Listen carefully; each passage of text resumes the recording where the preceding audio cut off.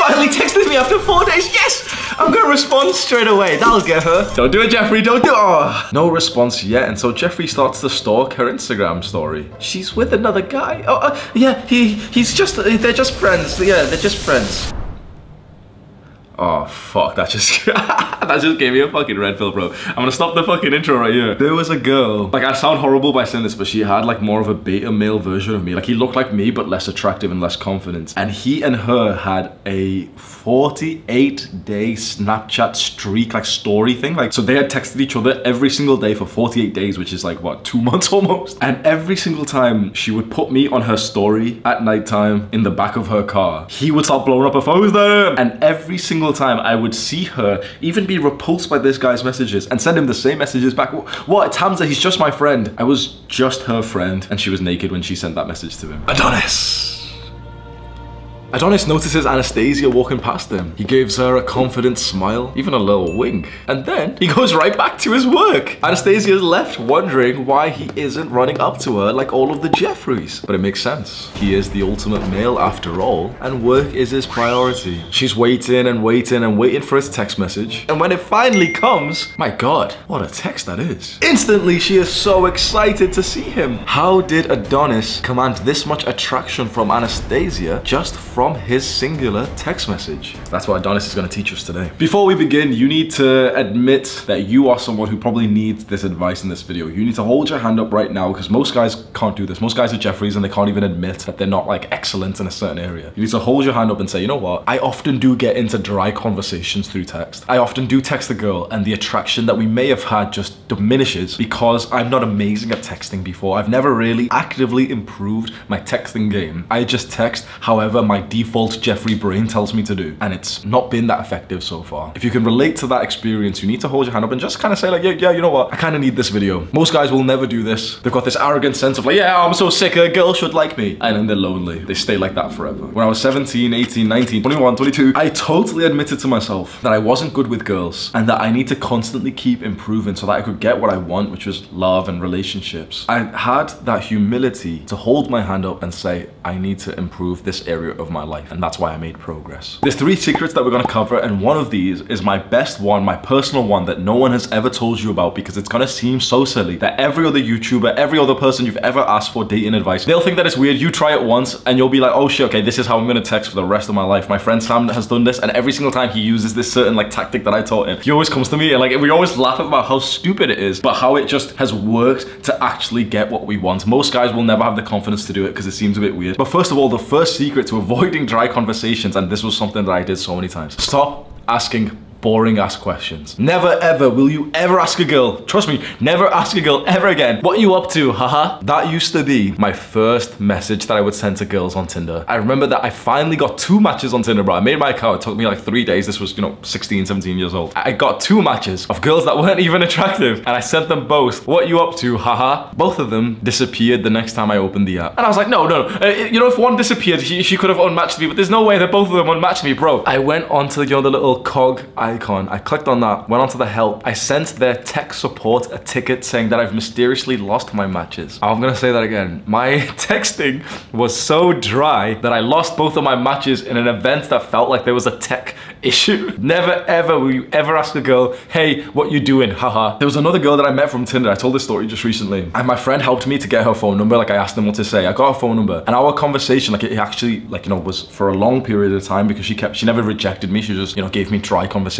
And every single day I would message her, hey, what you doing? And she would literally reply, TV space U, the letter U question mark XX. And oh my god, she's replying, oh wow, love her, she's watching Jimmy Goes. Do you think I ever even met her in person? Never mind even dating her or sleeping with her. Obviously not. The guy that these girls are sleeping with are not asking them these boring ass questions, like taking an interest in their lives. I know that seems silly because I know that every other piece of advice that you've probably seen online, what's like the, the blue pill, good boy feeling that all these other people have told you on how to attract girls. I'm taking interest in her. No, absolutely not. I'm telling you right now, that's not the way to attract a girl at all. Think about it. What is the usual common experience of a girl who's kind of annoyed at the guy who keeps fucking her and won't commit? That kind of guy. Is he there like taking an interest? Oh my god, okay, so you've got science class and then maths class and then you're gonna watch TV. No, he's literally just taking an interest in himself. That kind of guy is quite selfish. And the thing is, women won't ever be able to openly admit these things. This is why we don't ever take advice from women in terms of dating because most women, I'd say about 99%, can't really pinpoint what they're actually attracted to. Women will say, oh, you know, I really want the guy who cares about me. Every guy that they're fucking is quite selfish and self-interested. So asking these questions to take an interest in her life, it's not what the guys are doing that she's actually falling for. So what are they doing? Well, they're using secret number two, which is to be playful, flirty, and sexual. These guys are not asking her these dry questions like, oh, wait, what are you gonna do after science class? The kind of guys that are actually sleeping with these girls, actually dating these girls, these girls are obsessed with. These girls are like crying because this guy's not replying.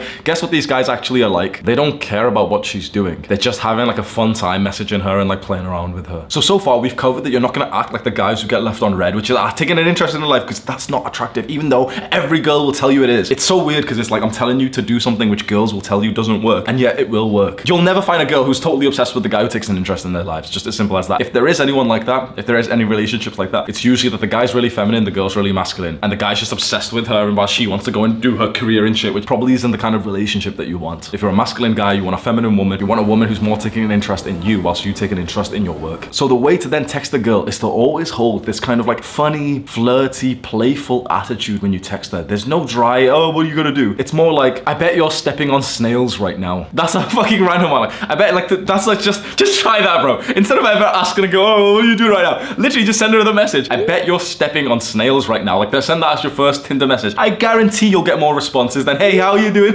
to attract a woman, it isn't even about making her like you. Every guy who's actually successful with women knows this. And every guy who's not good with women, maybe you, doesn't know this. Every fuckboy, every player, the guys who have been ultra successful with women know what it is. You don't have to make a woman like you. You just have to make a woman emotionally invested into you. You have to simply make her think more about you and she will fall for you. It's as simple as that. You have to take up more brain space for her. The little chump who's one dimensional and takes an interest in her and just asks her how she's doing. Well, he doesn't take up that space because she's just thinking, oh yeah, it's boring chump. He's not mysterious. He's, yep, that's what I expected him to say. I expected him to send me a chumpy message. He did. Okay, sweet. So, you know, confirmed. No need to think about him anymore. But Chad, why won't he reply back? And why did he just reply back with like a seemingly insult? Now she's thinking about this Chad guy and she's taking his screenshot, sending it to her friends. Like, what does this mean? Oh, he said, he said that I'm stepping on snails. What does it mean? You make her think about something. You act playful and flirty and a little bit sexual. I bet you're watching stepbrother porn right now. Now, obviously you've got to, you know, know your audience and you don't want to do this with some girl who's going to be oh, oh, oh, offended or something. But the thing is, the guy who's actually getting this girl doesn't even give a shit if she's offended. You don't need to like steal my lines, but you need to just come up with something that actually makes you laugh. The whole point of this is that you're this like authentic, high value guy who's literally just doing whatever you want. So don't just completely copy my sentences, but find something that literally makes you laugh. Like you can't stop laughing as you're, you're about to send it to her. Like you're just playing with her, you're just teasing her. And when you've done that, I guarantee that if this girl is actually attracted to your normal, natural, masculine energy, she's gonna be totally into you. She's gonna text you back something great and she's gonna take an interest in you. And this is actually where most guys fuck up. So you may have done this before. You may have actually been quite attractive to a girl. She's actually texting you. She's interested in you. It seems all great. You might even go meet up and then she just kind of disappears. She stops replying. She starts ghosting you. So many guys have been through this and they don't realize the most important secret that we need to cover, which is my special one, which will save you from this experience of like, you know, actually doing well with a girl and then falling off. The guys who know what to do at this point usually won't tell you because, you know, if I tell you this, you're gonna start like taking more girls and I don't want you to do that. But you know what? I'm gonna tell you and it's gonna seem weird and you're not gonna implement it, but maybe 1% of people who watch this video are gonna implement it and actually think, okay, fuck, I'm gonna use this tactic for the rest of my life. And are you ready? Secret number three, and the most important, most weird that you're probably not gonna implement because you're too soft for this. Do not let her burn the conversation to the ground. Quite frankly, a lot of girls are boring as fuck. Most guys will let a woman take the lead. A girl will take interest in them. You know, the guy said something nice or the guy's like attractive. And the girl will send them a message like, oh, so what are you up to right now? Hey, how you doing? The girl will ask these questions and guys will get so excited. Oh my God, guys, she's asking me questions. Whoa, she's taking an interest. I'm gonna reply. Yeah, I'm, I'm good. How are you? No reply. She sent you a message asking how you are. You reply because you know she's just taking an interest in you. And then she doesn't reply to you. What? Most guys don't understand what the fuck just happened. Because some girls, when they start to lead the text message conversation and they start to ask you the question, and it's natural for you to answer answer, and then ask them, oh, how, what do you, what do you think about the same topic? It is boring. Guess what most guys would do, and it's the worst thing possible to do to maintain or even grow her attraction. It's something that you do all the time, even though it seems common sense. She asks a question, guess what most guys do? They answer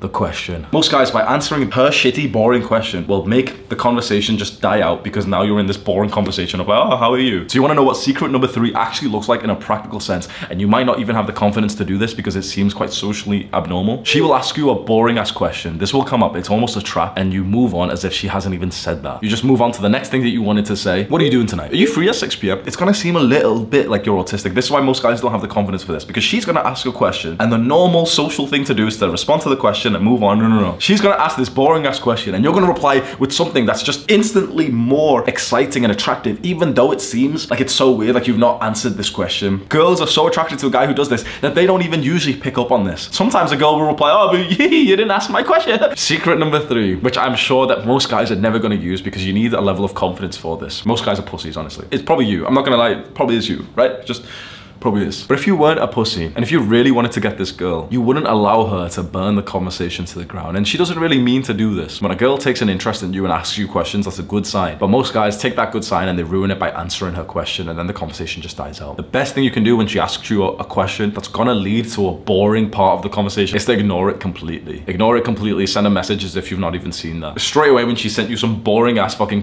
question, you reply with the secret number two, like a quick statement, accusation, like a little playful thing, like, hey, how are you? I bet you're watching stepbrother porn right now, just because it's literally, she's gonna remember you so much more than the fucking dweeb who replies, yeah, I'm good, how are you? Honestly, you want the best secrets for getting girls. Secret number four, bonus secret. Just make her emotionally invested in you. Do whatever it takes to make her think about you the most. Most guys, most girls will never be able to tell you this. Even the guys who do this themselves don't even know what they're doing. I'm telling you right now, there is one secret way, one absolute way to make a girl obsessed with you. Just make her think about you all the time. Most guys are too pussy for this, and they'll only want her to think about them in the positive sense. The real chads, the real fuckboys, the real players, the guys who get so many girls because they're just fucking good at navigating women, they know for a fact it's not just about her thinking positive things in her mind. It's about making her angry, making her upset, making her emotional, making her excited. Every spectrum of the emotion. For guys, for us to like a girl, it's only one spectrum. It's just like attraction. It's just liking them. For a girl to like us, it's this whole spectrum of like the more emotions, excitement, horror, anxiety, stress, happiness, all these ones. Literally, there's hundreds of emotions. The more that you can tap into, the more that she's gonna be into you. Most guys are gonna be too afraid to do this. They're gonna struggle with girls for the rest of their lives. But if you can just somewhat agree with this message and just try it next time, obviously don't get put in jail or anything, but just remember this concept of, okay, you wanna hit the spectrum of emotions. You'll realize the truth behind attracting girls is so simple. It's just that we as men have been trying to attract girls in the way that we would be attracted to a girl, which is okay, like we've gotta like them. For a girl to be attracted to you and actually want to fuck you, it's not even about just attraction, it's just about emotional investments. This is why the guy, like the chads, drive women insane, crazy. This is why you often see girls complain and get angry about the guy that they're fucking. They're fucking them and they're not even thinking positively about them. And so here's you, the one-dimensional chump, just trying to make her happy. You hit one, one little part of the emotional circle. That's the one overpowered, absolutely overpowered, like something I've just told you there. Most guys are not gonna use it, but maybe if you do, your life is gonna change forever. There's two things that I can give you for free that are linked in the description of this video. Scroll down right now. The first link is seven free workout routines that will build a body that will drive a girl insane. Like you'll literally look sexy. And the second link is a link to a private video that you can't find on YouTube, which is me discussing the worst three bedroom mistakes that guys make when they actually start to get sexual with a girl. So if you've just gotten a new girlfriend or you started to speak to a girl seriously and you think it might end up getting like quite serious, you might wanna watch that because most guys, when they get into the bedroom, they just crumble. So go click on those links right now. Click and watch this video right now. Do the hard work, especially when you don't feel like it. Mwah!